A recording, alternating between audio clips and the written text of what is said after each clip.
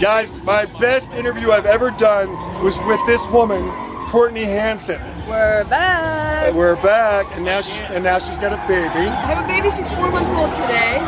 today. Yes, she wasn't allowed to come to the SEMA show, so she's at the hotel with grandma, and And you're looking as beautiful as ever. you're so sweet. You're, so you're even more vivacious now that you have a baby.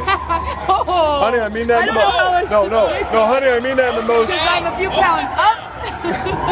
No, vivacious. It's a good thing. I tell my wife that all the time, and she looks at me the same way. She's like, "Wait a minute." I'm not sure. if No, it's a compliment. It's a- no, it's no, it's a compliment. Believe me, girl. Trust me.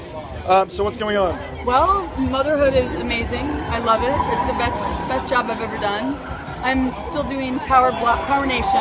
It was Power Block, became Power Nation. We are on Spike TV, NBC Oh. Sports, and CBS Sports. Right. And essentially every day of the week. And if you want the info, uh, air schedule, at PowerNationTV.com. I'm revamping my website. I just got done working with NASCAR and Texas Motor Speedway this past weekend. Did anyone catch that race? She's like the most hardest working woman in, in, in the business. Did that sound wrong? Hardest working woman in the business? Everything you're saying is It's coming all out a wrong? little bit. It's Bobby's fault. It must be all these. Yeah, yeah. Craziness over here. Yeah, we got Mustangs racing around and everything. But Courtney's here. Now I've called you two or three times. You never called me back. No, but I always mean, I always mean to call you back. Anybody out there who's a parent understands how it is. I go to call you back and I get distracted All right, by that mu- you know, duties. it's a good. At least you give me an excuse and not tell me whatever. Will I'm not going to answer your phone. I want to know what's going on with you because I heard We, you have a show. we are doing very well. We are up to 5,000 views a day, 4 million total views. We're producing a half hour episodes to air next year. And they're gonna we're gonna measure the market share from the first one to the second one. We're gonna sell an advertiser and stay an executive producer and we're gonna work it ourselves. We're doing it ourselves.